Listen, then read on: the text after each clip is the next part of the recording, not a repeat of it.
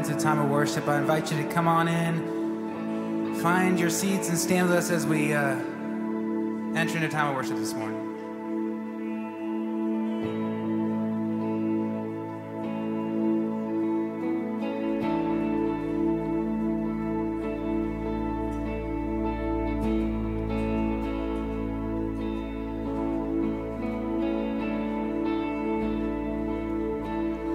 Christ is my father.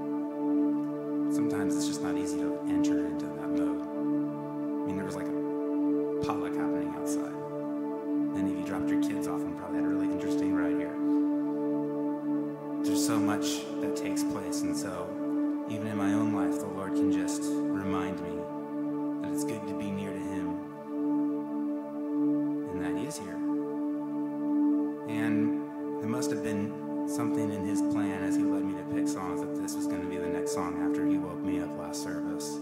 But this is just one of my favorite songs and such a wonderful prayer for our lives. Simple phrase, Lord, I need you.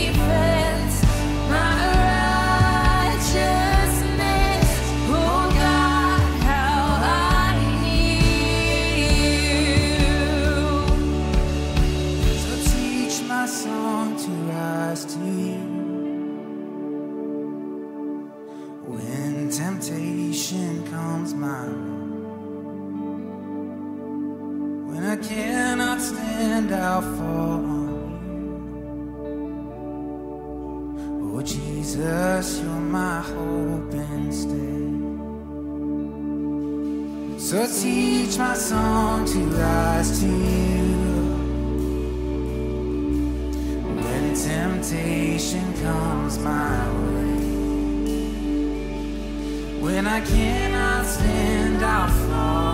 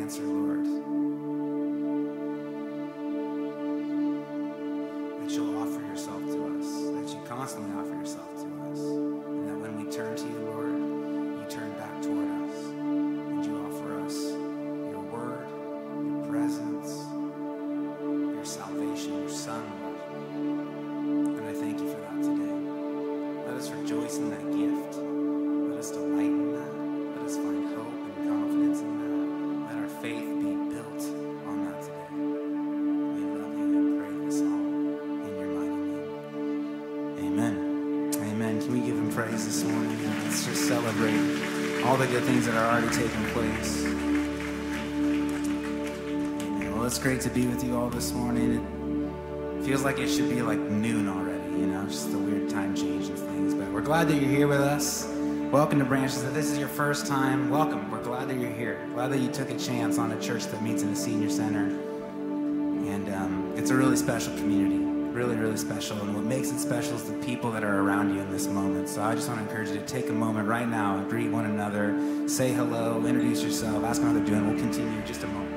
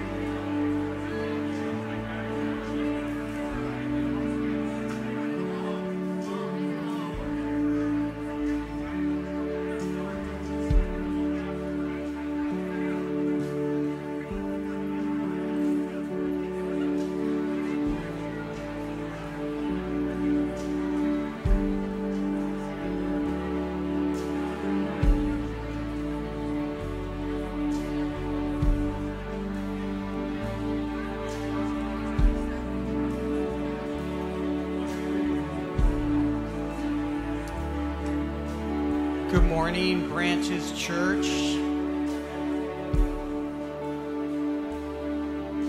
Everybody enjoy that extra hour of sleep.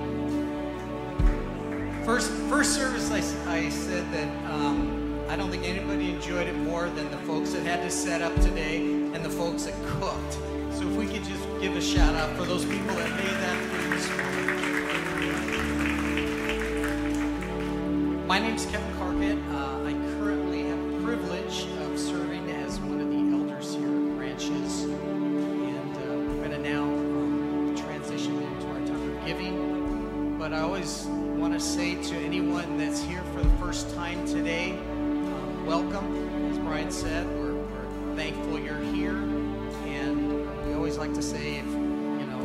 feel any pressure to put anything in that basket as it goes by. Just pass it by. Uh, we're just thankful you're here. Um, I was thinking, first of all, for those of you that are very busy, which is, I think, all of us, right? We're just crazy busy all the time. Um, welcome to November. I don't know where the 10 months went this year. I don't know how you guys but those 10 months but November leads into one of my favorite holidays, which is Thanksgiving. It's just a little over three weeks out, and it'll be upon us before we know it. So I just want to talk a little bit about Thanksgiving. Um, I, I looked it up, the Strong's definition for the Hebrew word, which I will not try to pronounce, but it means confession, praise, and offering. When we give thanks truest sense of the biblical word, we offer God our praises and acknowledge to Him that He is the giver of all good gifts. So today I just wanted to encourage you, and I'm encouraging myself at the same time. We've got about three and a half weeks to Thanksgiving. I encourage you to take some time, set some time aside, and you have to do it intentionally, try to just set some time aside each day to, to cultivate a heart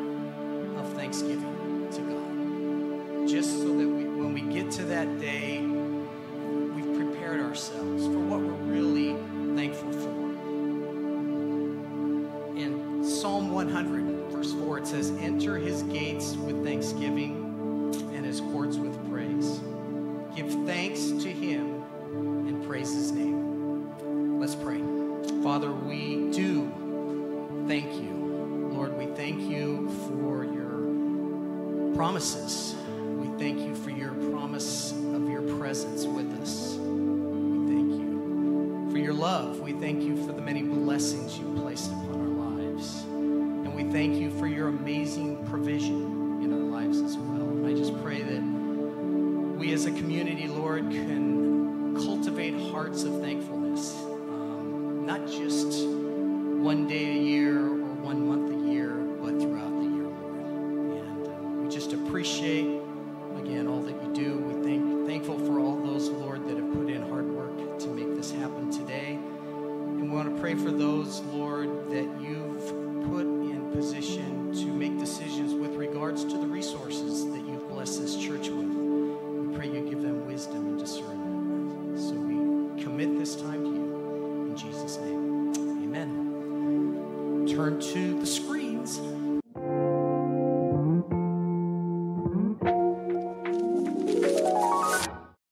church. I'm Lisa Bryan. I'm the women's and missions pastor here at Branches, and I have a lot of opportunities that I'm excited to share with you today.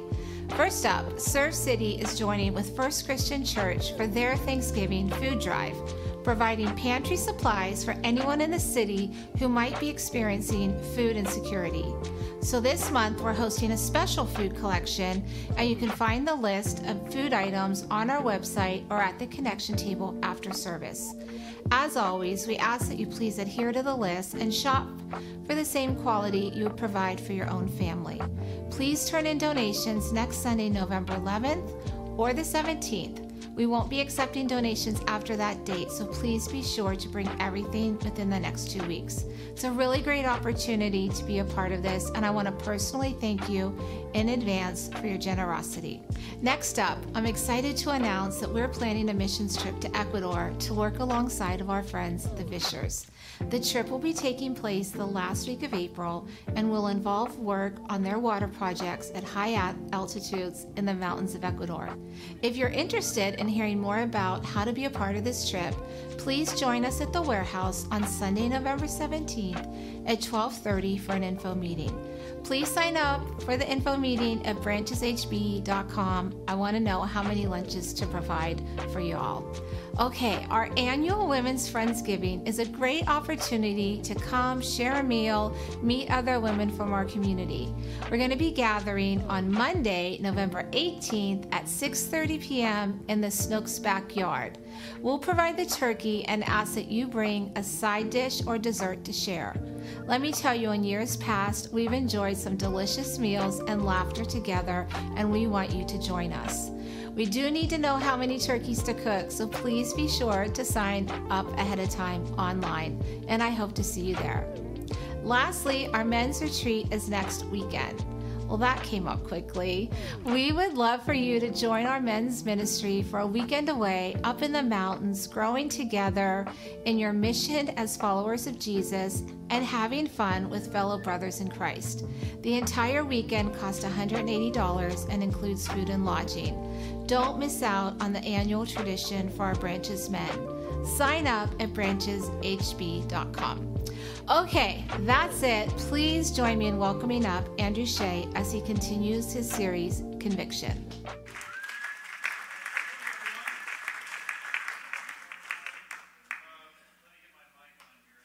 Oh, there we go. Guys, are you excited for this week that's coming up here? Election day. Woo! Oh, a little bit, a little bit out there.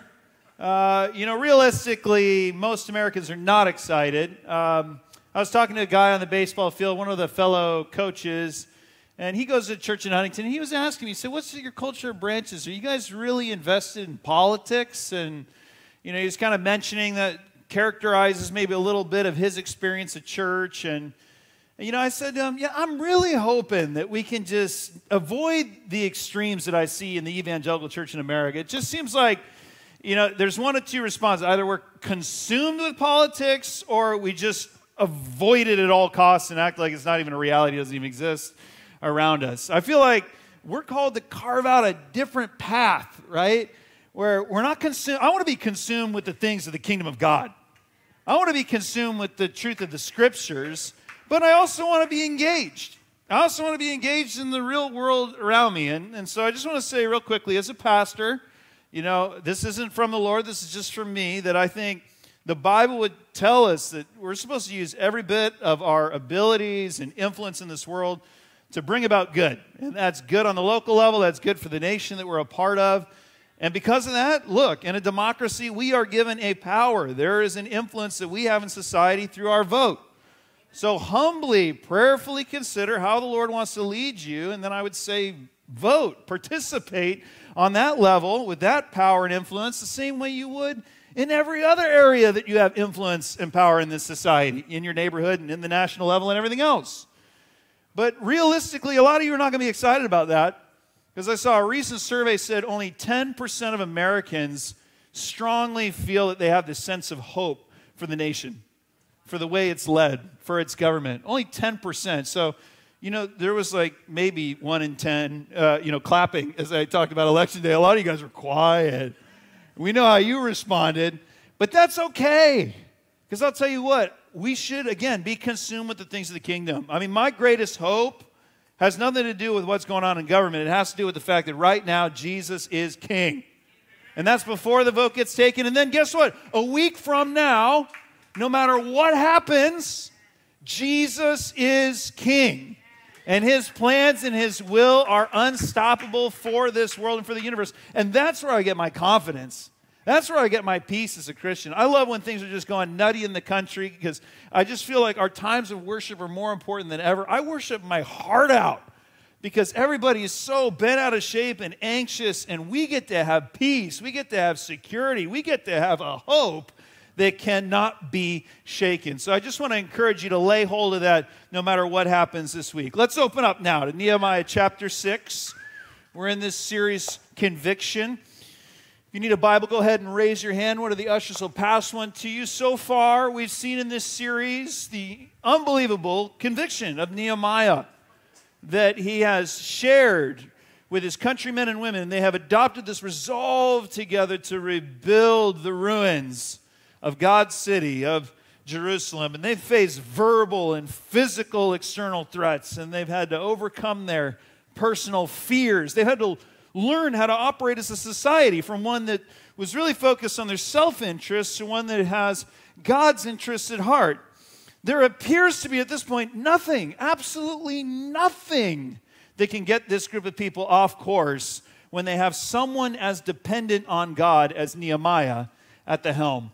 But just saying that, the enemies of Jerusalem, the neighboring nations, they also recognize that. So now their plan in chapter 6 is Nehemiah must go. We got to get rid of that guy. You know, I had an invading nation in my kingdom here in Huntington Beach. I've got some experience with this. In North Huntington, uh, when we used to live there, we had this invasion of an Argentinian ant colony. That's right. They, they, they invaded my 6,000 square foot kingdom, my little plot of land, and I did everything I could to get rid of those suckers. Tried to drown them, tried to poison them, you know, with the over the counter poison that you feed them. They just get stronger.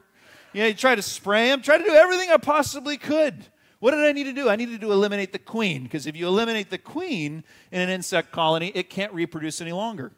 So, this has been a great communal effort among God's people, but at the core, reproducing vision that others have begun to carry. It's Nehemiah.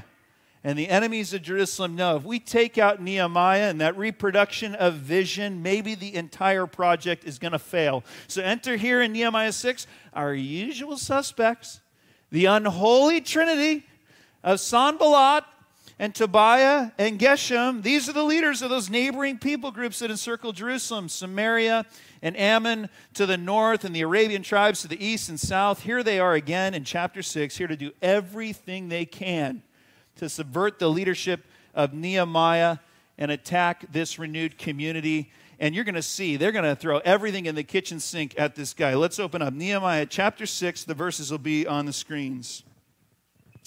When the word came to Sanballat, Tobiah, Geshem the Arab, and the rest of our enemies that I had rebuilt the wall, and not a gap was left in it, though up to that time I had not set the doors and the gates, Sanballat and Geshem sent me this message Come, let us meet together in one of the villages on the plain of Ono. But they were scheming to harm me. So I sent messengers to them with this reply I am carrying on a great project and cannot go down. Why should the work stop while I leave it and go down to you? Four times they sent me the same message, and each time I gave them the same answer. Then the fifth time, Sanballat sent his aide to me with the same message, and in his hand was an unsealed letter in which was written, It is reported among the nations, and Geshem says it is true, that you and the Jews are plotting to revolt, and therefore you are building the wall. Moreover, according to these reports, you are about to become their king and have even appointed prophets to make this proclamation about you in Jerusalem there is a king in Judah. Now, this report will get back to the king of Persia, so come, let us meet together. I sent him this reply Nothing like what you are saying is happening. You are just making it up out of your head. They were all trying to frighten us, thinking their hands will get too weak for the work and it will not be completed. But I prayed, now strengthen my hands.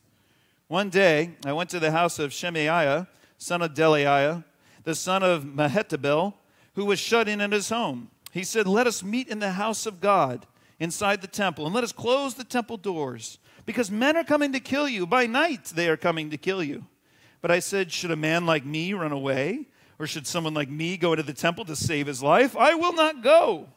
I realized that God had not sent him, but that he had prophesied against me because Tobiah and Sanballat had hired him. He had been hired to intimidate me so that I would commit a sin by doing this, and then they would give me a bad name to discredit me. Remember Tobiah and Sanballat, my God, because of what they have done. Remember also the prophet Noadiah and how she and the rest of the prophets have been trying to intimidate me. So the wall was completed on the 25th of Elul in 52 days. When all our enemies heard about this, all the surrounding nations were afraid and lost their self confidence because they realized that this work had been done with the help of our God. Also, in those days, the nobles of Judah were sending many letters to Tobiah, and replies from Tobiah kept coming to them. For many in Judah were under oath to him, since he was son in law to Shechaniah, son of Arah. and his son Jehohanan had married the daughter of Meshullam, son of Berechiah. Moreover, they kept reporting to me his good deeds, and then telling him what I said and Tobiah sent letters to intimidate me. So, as I said, guys, well, number one, this chapter is filled with great potential baby names. Uh, can we just all agree on that? If you're thinking of baby names, you got, you got a mouthful right here. Great baby names, but it's also just filled with any and every attempt of the enemies of God's people to subvert Nehemiah. And I think it's worth acknowledging for the purposes of applying Nehemiah 6 to our lives. We've got to recognize we're all in a different context than Nehemiah. Okay, I don't think this can relate one to one to any person's life out here. I mean, how many of you are the governor of a nation, you know, that's being attacked by a foreign nation? You know, Canada's coming in and, you know, you've got to hold your ground for God's people. That's just not happening, right? But as Christians, we do still have an enemy that opposes us in this day and age. And there are people and there are obstacles that we will encounter that will get in the way of God's work for us in our lives. So let's reflect on the circumstances of Nehemiah 6, drawing connections with some of the spiritual opposition that you and I might face in this life.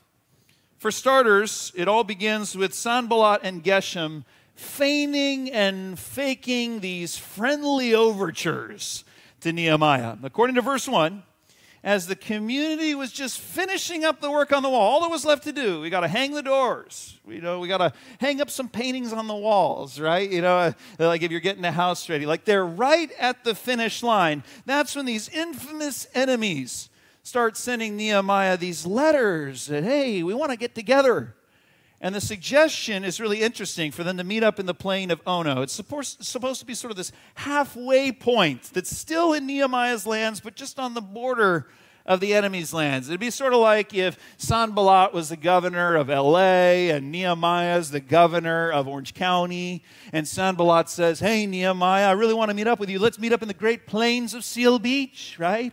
It's still on your land, but you know, it's right there up against the enemy. This meeting place is supposed to convey like a sort of meeting for reconciliation. And I can just see Sanballat saying, you know, hey, Nehemiah, Maya, Maya. Can I call you Maya? Maya, buddy, Bubby. Think about it. You know, uh, all the stuff that went on, the rumors that we're going to go to Persia, you know, and how I was going to attack you guys in the gaps of the wall and kill your people.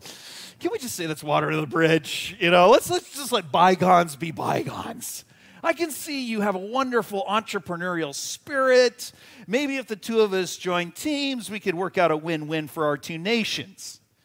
Now, this overture of friendship is just a guise for a nefarious plot, for some scheming. And we have to understand in our modern day, this is how our enemy, the devil, works in our own world. He's called by Jesus in John chapter 10, verse 10, a thief a thief who comes to steal and kill and destroy. So, does he announce himself as a thief as he goes about his thievery? You know, does he just show himself in your life? I'm a thief, and I have a plan for you that's going to steal and kill and destroy. No, a thief is successful insofar as their identity remains concealed. You think about scams, scams that are successful, scams by email. When people report about scams by email, is 37% of them, they're being offered a sweepstakes. There's a prize that's gone unredeemed, and we worked so hard to find you. And now we finally found you through this obscure email address that we're sending this from, right? And all you need to do is just click this link. And all you need to do is enter this information, and then you're going to get this benefit, right? The most frequent next to sweepstakes and a prize is a job opportunity. So a scammer always is kind of guising the deception, right, as something that's for someone's benefit. I have never in my life opened my email and seen a scammer identify themselves hello, I am the scum of the earth that likes to steal the identities of the elderly. And I look at the email address and it says, the captain of scamming at scams.com. No one has ever emailed me that way. They have incredible ways of concealing even their email address so it looks like it's like an official Microsoft address or whatever. This is the way the devil presented himself as he opposed Jesus. Luke chapter 4, verse 5. The devil led him up, that is Jesus, to a high place and showed him in an instant all the kingdoms of the world. And he said to him, I will give you, this is for Jesus' benefit, right? I will give you all their authority and splendor that has been given to me, and I can give it to anyone I want to. If you worship me, it will all be yours. So take note our enemy presents curses as if they were blessings. That's how our enemy works in our lives. He will present curses as if they were blessings. The irony in this is God can often take things that appear to be curses and turn them into blessings. You know, things that seem really bad, God can redeem through his power. He can work out the good for those who love him. But oftentimes the enemy will come to us with something that appears to be a blessing, but really it's a curse. The devil led Jesus to a high place. So also you might be led to a high place, success in your business. Oh, and you have all this success, and look what a blessing this is. Look at how much wealth this is yielding for me and yet you become totally unproductive for God's kingdom. Oh, you think it's a blessing, but actually you've led this life of inconsequential interests because of how high you've been taken. It looks like a blessing, but it's really a curse. You know, oh, you're lonely, but then this romantic love interest comes in your life. You say, oh, I'll never be lonely again. This is the answer to all my woes that I've been living in. But that person actually leads you out of church community. Suddenly, your faith isn't as strong as it was before. Oh, this appeared to be a blessing when this person showed up in your life, but it actually it worked out to be a curse for you. Oh, you find that person, this person that fulfills all your needs, but you've forgotten you're already married. So here's this blessing, here's this answer for all your woes, but it's going to mean divorce. It's going to mean you're sharing custody for your kids. Oh, this blessing of self care. Oh, man, everybody in our society today, this is like everybody's favorite topic self care. So you build this perfect life of self care, and everything is about caring for you, and that's good to an extent, but you just become consumed in it, as everyone appears to be consumed in it, and now you don't care for anyone except yourself. You're so blessed, you're so high, but you're so cursed because you're not good for anything in God's kingdom. According to verse 2, Nehemiah was clear headed enough to discern immediately these guys are who they've always been. They're schemers. So he sends a rather terse and to the point message in response in verse 3. He says, I'm busy with something important. I can't be bothered to go up and meet with you and create this diplomatic pact that's going to give me more influence and power, whatever it is you're throwing in front of me. The antidote here, friends, that we see in Nehemiah to being thrown off course, off the course of God's will, is to know God's will in all clarity. If you're sure and clear headed about what God's will is, you can't be tempted off that course. You won't let your life become all about success in business because you know you've been called to a higher purpose. You're clear headed about what God's will is for your life, so you're not going to be steered in another direction. You're not going to embrace this romantic relationship that pulls you further and further from faith community and from God because you know that can't possibly be the right relationship that God would lead you into. The antidote for being thrown off course is being clear about God's will. You're not going to get sucked into this black hole of self care that has no bottom because you know you are made to serve and to give and to contribute to God's people. Personally, guys, I've said no many times to ministry opportunities that would pull me above this work here in HB because God has called me here, He has not called me high. In verse 5, it indicates the next scheme that's going to be used by the enemy. It's this little coordinated good cop, bad cop scenario. And Sanballat's going to be the good cop, and Geshem, who's really working with him, is going to be the bad guy. Sanballat says he's heard a rumor that's being passed around, one that Geshem has confirmed. He's a very reliable guy, you, you know, that you want to listen to. That Nehemiah has rebuilt Jerusalem to prepare for a, a revolt against the king of Persia. And he's appointed these prophets, these spiritual leaders who are already proclaiming that he's the king over Judah. And all this is found in an unsealed letter. So, this is an intentional leak of information, or rather, disinformation. It's slander meant to incite fear from among the ranks of Judah uh, that they're going to get this retribution from the king of Persia if this comes out, because Persia has dealt with uprisings in this westernmost part of their empire, and they dealt severely with them. So now association with Nehemiah is going to bring some of that hardship for the people. This is a reminder, guys our enemy speaks against us with slander. Our enemy uses slander against us. Slander is a common tool employed by opponents in this world. I would say, with all the, you know, it's political season. Have you guys seen some of these ads?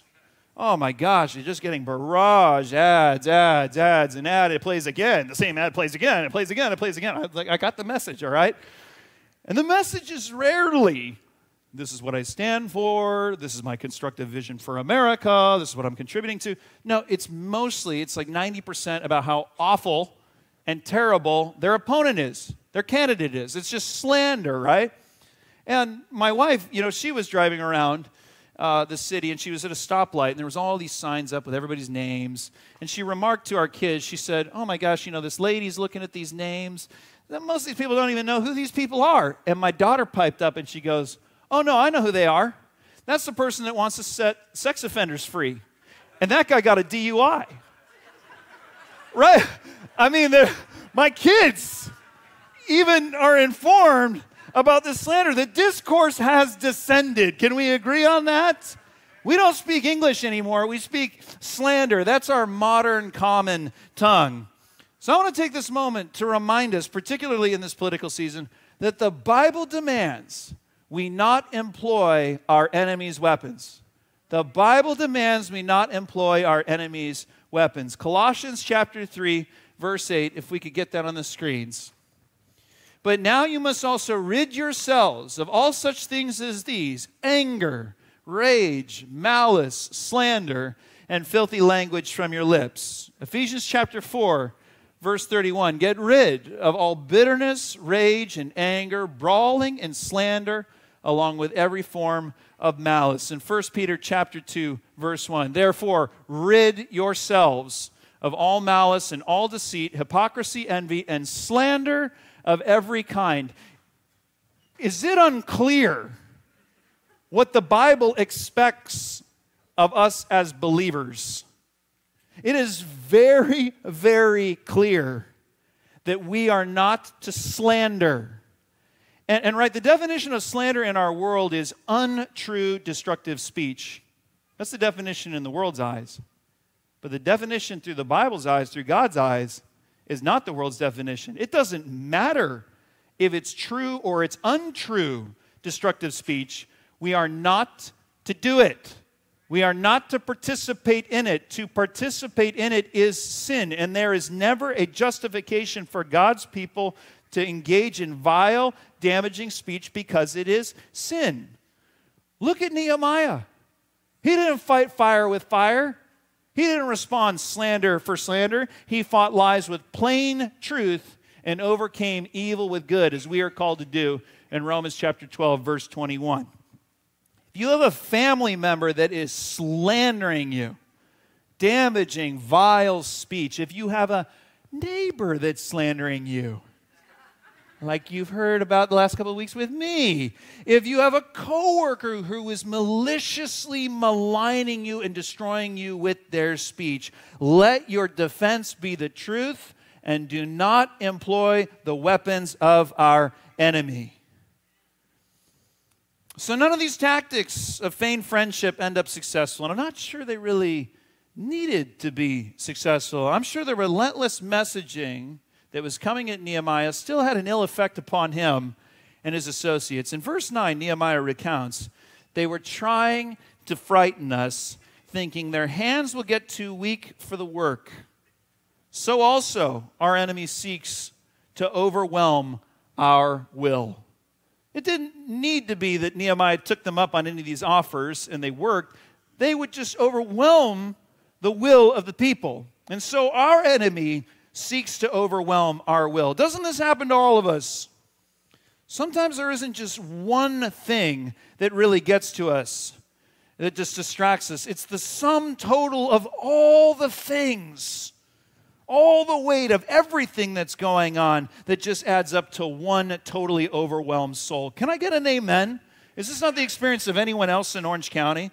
Yesterday, let me tell you about yesterday. I'm supposed to be preparing a sermon, this sermon.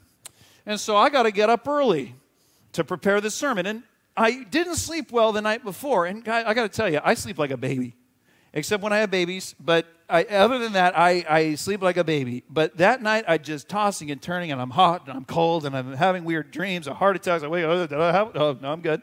You know, oh, another one? No, I'm good. So off night, we'll just say that. And so I sleep in a little later than I want to. So I lose a little bit of prep time. But I got a meeting I got to get to. And at the end of that meeting, I got to rush out. I got to actually leave that meeting early. I got to tell them because I got to get to this volleyball game with my daughter. And if I don't come on time, let me tell you, volleyball games go very short for my daughter's team because they have not learned to serve over the net. It's a very important skill in volleyball. If you cannot serve over the net, you never score a point. Games go very, very quickly. So I can't be late to the game. And as soon as that game is done, it backs right up to the practice that I've got with my son for baseball. So I'm thinking I'm going to fit in some prep time in the afternoon. But I'm already thinking, man, I'm not at my premium, you know, mind space. I'm going to be tired. It's going to be less quality preparation time. And then when I get done with it, the next day I'm going to have a meeting and I got three messages the following week. So this is where my head's at. I haven't even done anything yet. I haven't even lived a second of my day, and I'm already exhausted. I'm already completely tired from the inside out. And so many people in our world are paralyzed by this same dynamic. They're overwhelmed by fear. And it's not the fear of any one thing, it's the fear of all the things, all that future anticipated in the present moment. And we wilt What did Nehemiah do in this situation with all the pressures coming at him constantly, all the threats against his life impeding on him? Did he say, Oh, I just need to get to the gym more? Well, that'll deal with it. Oh, I just need to look at my diet. No, he needed to draw from the strength of God. He prayed, Lord, strengthen my hands right? I bet he prayed this day after day. I bet he prayed this night after night after night. Strengthen my hands. Handle the things I cannot handle. I can't handle it all. I can't control all these different things. Control the things I cannot control and give me the ability, give me the energy for now, the task that is right in front of me. And this is very similar to how Jesus teaches us to deal with our anxieties and fears in Matthew chapter 6. What does he say we need to do? When, when we're anticipating all the things of the world, he goes, Think of your Father. The answer is thinking of your Father. Think of all the things he's handling all the time that you have no idea about. Know his good heart towards you. Put back in his hands all the things future, all the things extra that you don't have the capacity or margin to handle. And don't think about tomorrow. Ask for the energy to seek first the kingdom today, to have the energy you need for the thing that is right in front of you. That's what Nehemiah prayed, and so he was strengthened. So, moving on, we see that Nehemiah, he faced not only curses disguised as blessings and destructive slander and this possibility of general overwhelm that is so common for us today, but in verse 10, it demonstrates he also faced spiritual deception.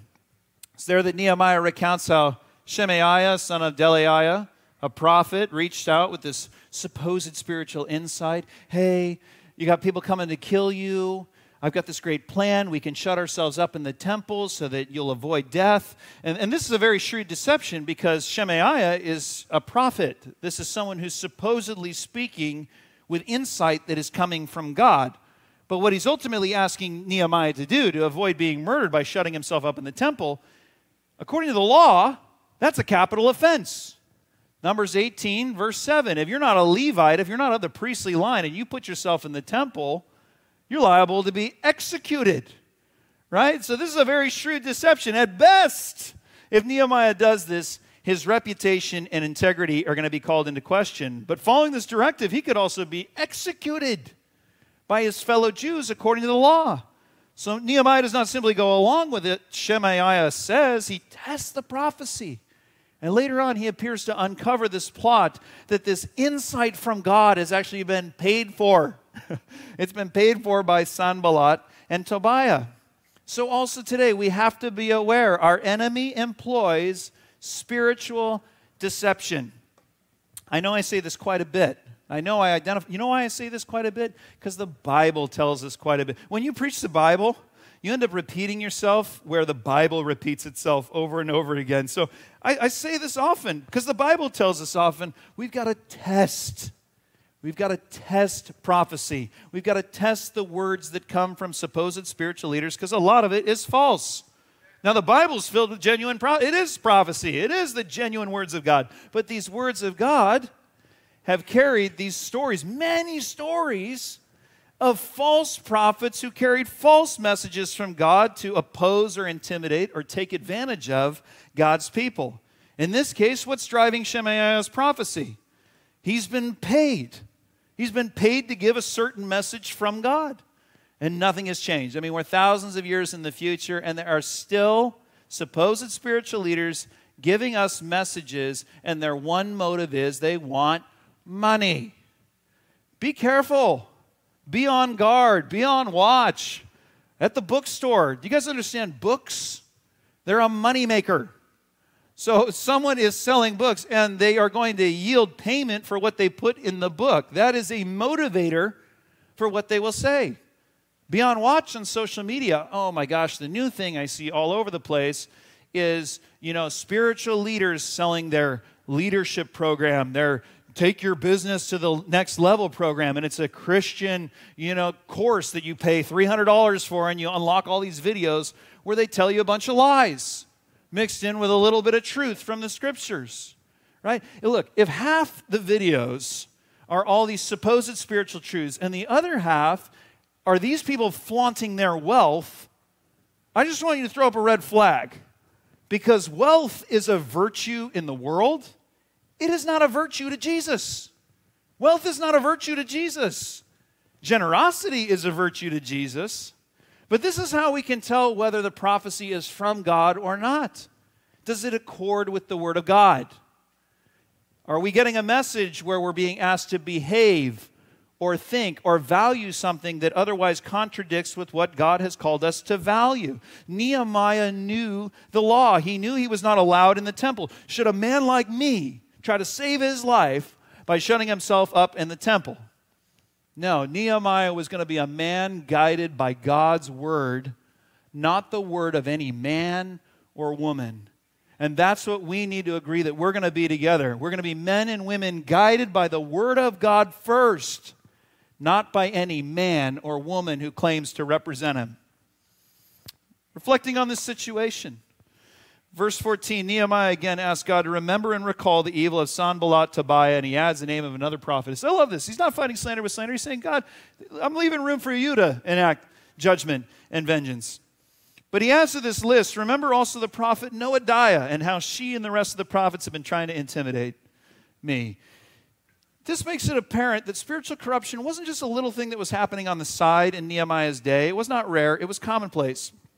And we don't know the backstory of Noadiah. We don't know if she was paid. We don't know if she had a, some other interest in getting Nehemiah off course, but she was opposing God's work through her spiritual platform. So we can see it was a spiritual Wild West in Jerusalem at this time. But I want to iterate that Nehemiah did not blame God for it, nor did he give up his faith. He did not, because of these bad experiences, throw off all faith in the faith. But that's what our enemy wants in our world today. Our enemy seeks to corrupt our faith entirely. He seeks to give our faith such a bad name that we would never believe again. Let me illustrate this. A, a couple weeks ago, I had a really bad experience at a restaurant.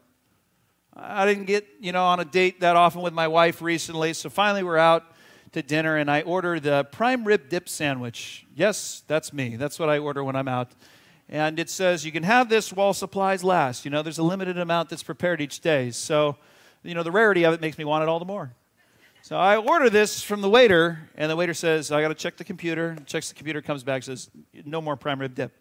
So very sad me. You know, we don't get this opportunity very often. Let me pick the second rate choice on the meal. I'll be satisfied and I'm sad. But 10 minutes later, I overhear the table next to us. The man orders, yeah, oh, the prime rib dip. Same line from a different waiter. Oh, let me check the computer. Oh, come back. Oh, we're all out of it. Sorry, but let me go check in the kitchen. Goes to the kitchen, comes back, says, There is one more, and it's just for you. I'm dying. I'm dying inside. This is the greatest injustice that's ever occurred on the earth.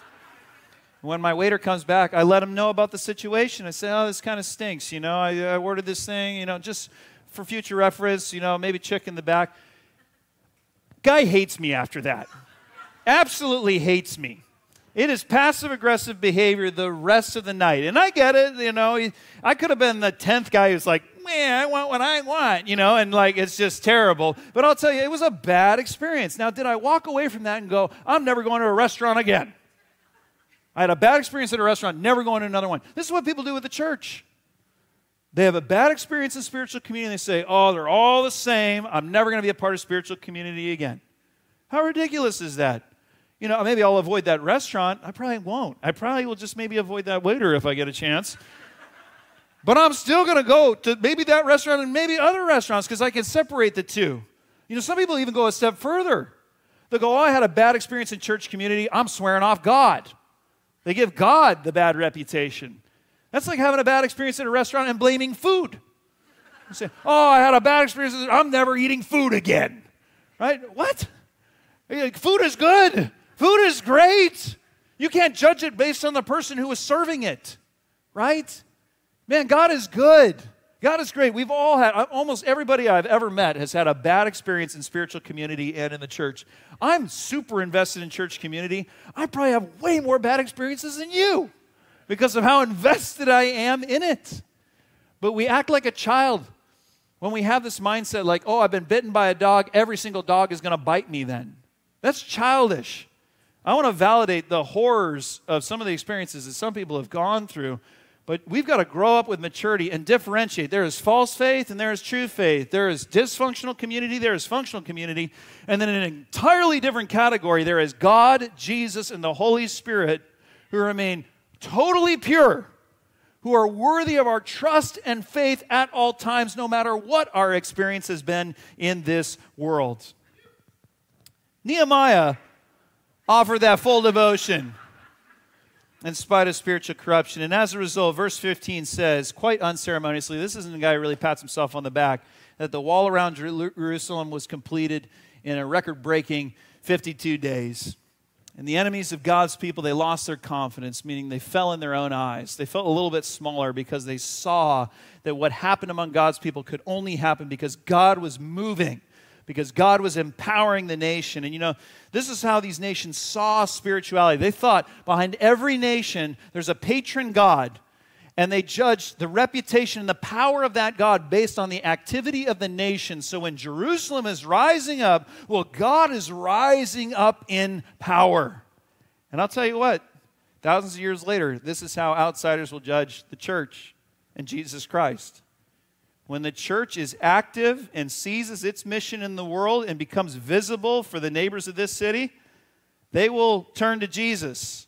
They will say, Wow, God is really up to this. People don't know what's true. People are just spiritual. They don't have a clue what's up.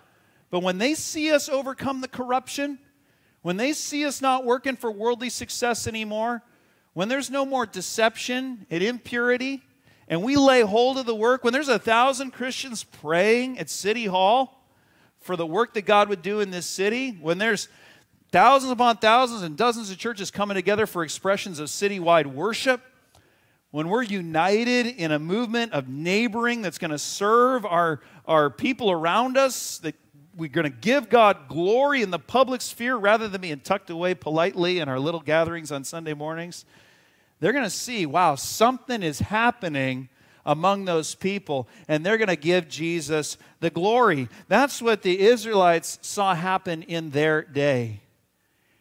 And then they rode off into the sunset, and they never had another issue again. Forget about it. No, no, amen. In verse 17, this is anticlimactic. Following the completion of the wall, Nehemiah recounts that many of the nobles, the people of influence in Judah, were sending letters to one of Nehemiah's sworn enemies, Tobiah. Again, Tobiah, this is a Hebrew name. It means that Yahweh is good, and he names his son. Yahweh has shown mercy. He's apparently a Jew, at least by reputation. And he was obviously someone influential among God's people before Nehemiah came into town. That's what all these family associations convey to us. Through those, we can see that some of those connected to Tobiah, Nehemiah's enemy, those people were working on the wall. They were among the ranks of God's people. And here they are lobbying for Tobiah to Nehemiah and passing on whatever Nehemiah says back to Tobiah while Tobiah keeps writing these letters that are stirring up dissent. It's just a reminder that no matter how good things are, no matter how many accomplishments we arrive at in God's kingdom, there will always be someone or someones who come along the way to sow seeds of dissent for reasons that are their own. You can always count on our enemy utilizing friendly fire friendly fire to oppose us from within the community. I guess the only way to avoid all that trouble would just be to do nothing at all. Then we don't have to worry about that. But that's not really a great way of accomplishing God's plans in the world. So, as we consider friendly fire in the context of our own church community, just think if Tobiah's agenda, whatever that agenda was, would have been accepted in the daylight, that's where he would have pushed it. But it had to be backroom conversations because his agenda wasn't right. It was of the darkness, and that's where it belonged. Let's agree to work in the light. If something is right in our community, it can be done in the light. If it's a healthy agenda, if it's a healthy way we're going to go about things in our relationships with each other, it can be pursued in the light. It's when the light is gone that's when we're pursuing the things that are wrong. That's when we're pursuing the backdoor conversations. That's when we're promoting our agenda behind the scenes through intrigue and espionage. Let's agree to be a healthy community that leaves no room for the enemy because the work we do, we do in the light. We do what's right. Before we leave, I just want to put up our survey of how our enemy opposes us on the screen. And I want to invite you to consider are you experiencing opposition, spiritual opposition, through any of these means today? You know, maybe right now you're just feeling so, so blessed. But when you look at your actual life for God, it's just diminished more and more. Maybe that's actually a curse disguised as a blessing. Maybe you're getting brought higher to the high place, but away from the place that God has called you to. The answer is to know God's will. Maybe you have someone in your life that's just tearing you down maliciously. And your instinct, my instinct would be to fight fire with fire. But really, you're called to just speak plain truth and trust yourself to God and not employ the weapons of the enemy. I think a lot of us are just experiencing overwhelm. We're just got so many things going on that it's a total distraction for our soul. Before we even get going in the day, we're tired before we even started. You need to pray, strengthen my hands, God. Handle the things I can't handle, control the things I can't control, and give me the energy for now, what you called me to in front of me. Our enemy tells spiritual lies. Maybe you've signed up for one of those programs through Instagram and you're being fed a bunch of lies that are not going to produce the fruit of Jesus through your life, and you need to cut off those avenues. Maybe you have had your faith corrupted. You're here today, and that's a miracle, but you won't step in. There are so many people in church that are on the sidelines because of an experience they had 10 years ago. And they can't just revisit it and go, that was then, that was them, and this is now, and this is my God, and I'm going to invest. If we want to avoid the dysfunction of community because of the friendly fire, man, we won't do anything. Jesus had someone in his own band, and that did not stop him from fulfilling the will of God. We've got to have the same commitment to cut through it as Nehemiah.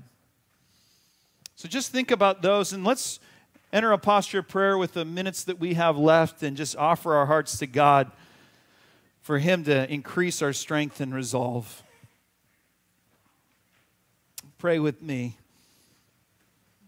Heavenly Father, we want to stand in the promise greater is He that is in us, the Holy Spirit, your Spirit, than He that is in the world, the enemy.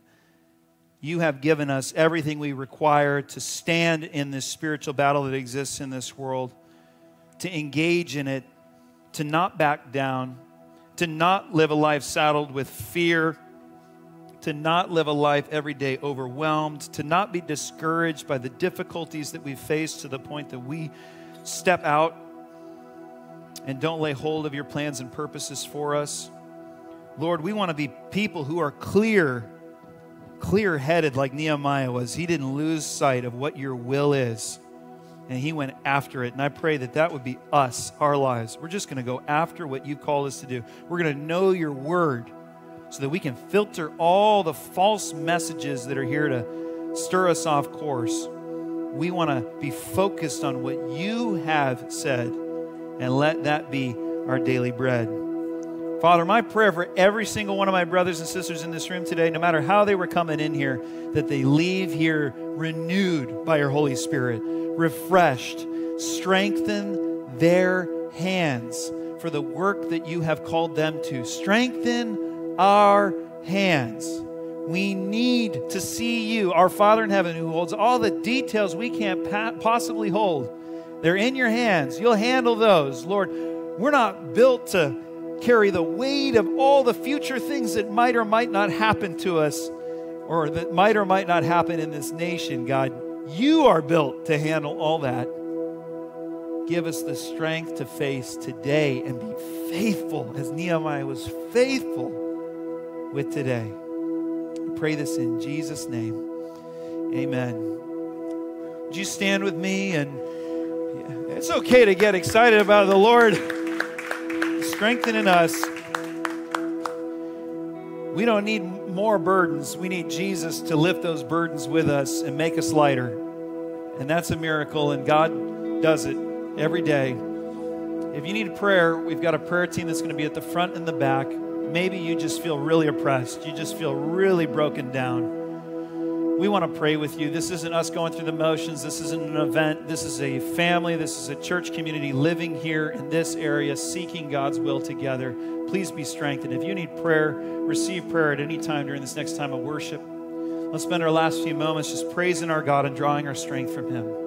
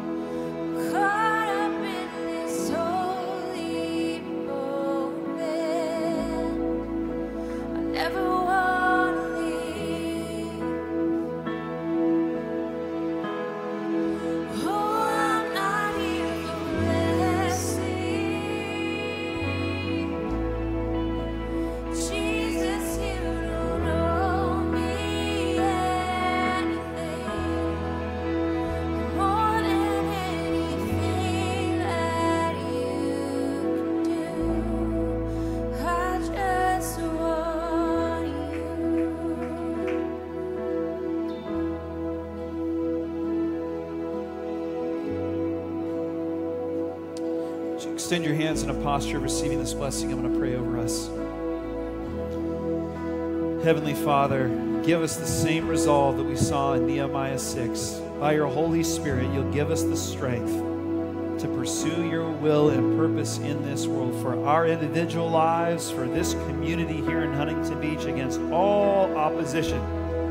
Lord, you will enable us to accomplish your plans and purposes. Lord, may again everyone who came in here this morning leave lighter, leave empowered, leave with perspective that is a gift of your Holy Spirit, and may we carry it together and continue to strengthen each other for your purposes in this world. I pray this in Jesus' name.